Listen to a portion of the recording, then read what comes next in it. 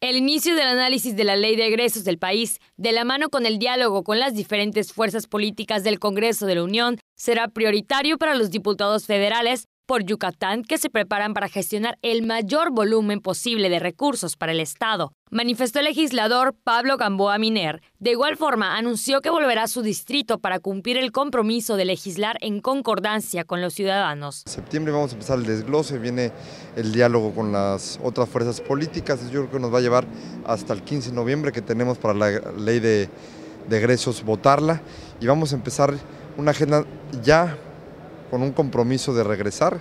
Y uno de los, de, las, de los compromisos que hice fue estar cercano a la gente y vamos a empezar y vamos a darlo a los medios los 100 días del, pues de la legislatura de Pablo Gamboa.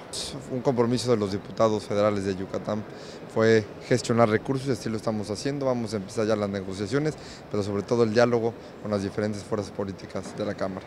Dijo que otro de los pendientes es la asignación de las comisiones legislativas que deberán estar conformadas antes del 30 de septiembre. Con imágenes de Juan Velázquez, información de Álvaro Martínez, Noticias Día a Día.